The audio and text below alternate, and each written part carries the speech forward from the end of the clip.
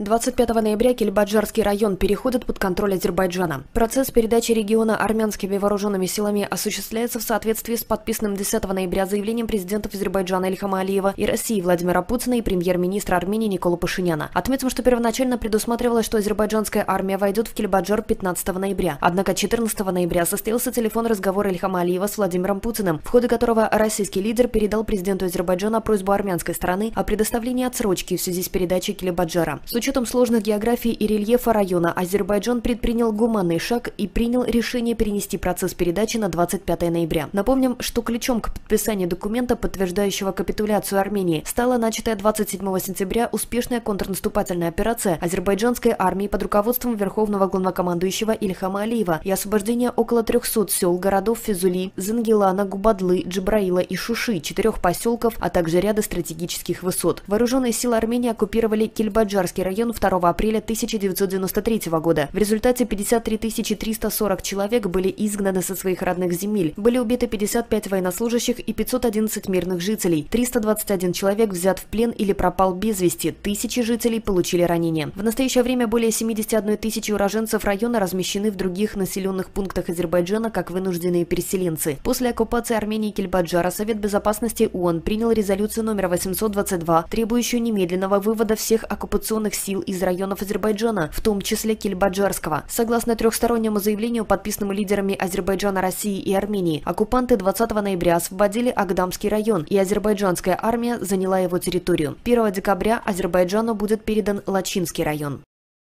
Thank you.